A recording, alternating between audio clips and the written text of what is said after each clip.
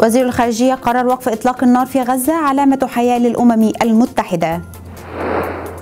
زيادة طلبات اللجوء إلى الاتحاد الأوروبي وتراجع في النمسا. تحذير من انهيار نظام التعليم في فيينا بسبب لم شمل السوريين.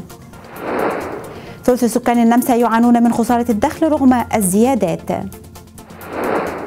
حملة واسعة على منازل في فيينا على العمل الأسود وسرقة الكهرباء.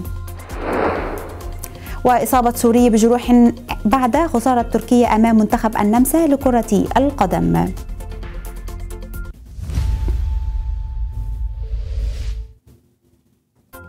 مرحبا بكم في نشرة الأخبار على النمسا ميديا لهذا اليوم.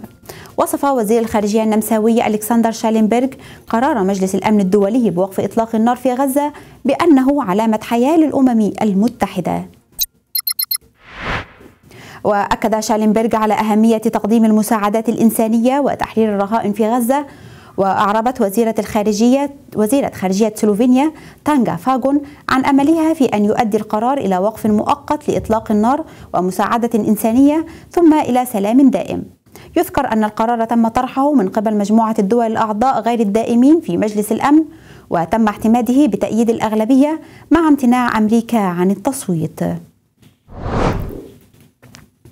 زادت طلبات اللجوء في الاتحاد الأوروبي بنسبة 20% في عام 2023 وفقا لبيانات يوروستات حيث تقدم مليون شخص بطلب الحماية الدولية مقارنة ب 874 ألف شخص في 2022 وبعد انخفاض في 2020 ارتفعت الطلبات لثلاث سنوات متتالية وكانت أغلب الطلبات من سوريا تلتها أفغانستان تركيا فنزويلا وكولومبيا.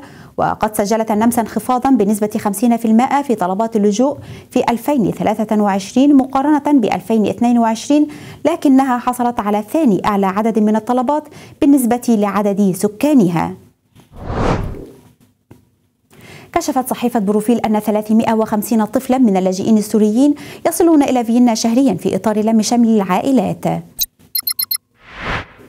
وقالت الصحيفة أن هذا يؤدي إلى تفاقم الوضع المتوتر في مدارس المدينة حيث وصل حوالي 7000 طفل العام الماضي محذرة من انهيار النظام التعليمي وطالب توماس كريبس من نقابة المعلمين بالدعم إضافي للمعلمين والعاملين الاجتماعيين فيما عبر نائب عمدة فيينا فيدا كير عن تفاؤله بتوفير فصول دراسية جديدة مع تحفظ من وزارة التعليم معتبرة بأنه شأن خاص للولايات.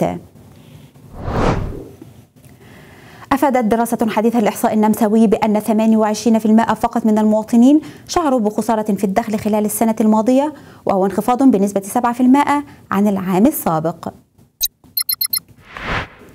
وأشارت الدراسة إلى زيادة توقعات المواطنين بتحسن الأوضاع المالية مع توقع 22% زيادة في الدخل ومع ذلك يظل هناك تحديات مثل ارتفاع تكاليف المعيشة حيث يجد 30% صعوبة في شراء المواد الغذائية ورحب وزير الشؤون الاجتماعية بالتطورات وطالب بإصلاحات محددة لتقليل الجوع بينما حذرت شبكة مكافحة الفقر من استمرار الجوع ودعت إلى تحسين مزايا البطالة.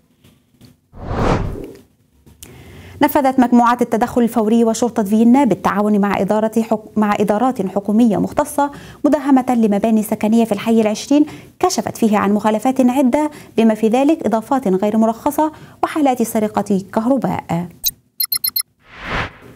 وقد تم إيقاف الكهرباء عن 23 شقة بسبب مخاطر تركيب الأسلاك بشكل خاطئ. وتم منح المستأجرين مهلة لإصلاح المخالفات وشاركت العديد من الجهات في العملية إضافة لقيام الشرطة المالية بإجراء تحقيقات ضد مالكي المباني مع احتمال وجود شركات وهمية كما أجرت الشرطة 122 عملية تحديد هوية للسكان. شهدت ساحة براتا في فيينا حوادث شغب بين مشجعي المباراة المباراة أتراك ونمساويين عقب خسارة تركيا 6-1 أمام منتخب النمسا في مباراة ودية. وعبر رالف رانجيك مدرب فريق النمسا عن فخره بأداء اللاعبين وتحضيرهم لبطولة كأس الأمم الأوروبية. وعقب الانتصار كانت هناك عملية كبيرة للشرطة عندما كانت جماهير الفريق النمساوي تهتف بالفوز على تركيا بالهتاف والرقص.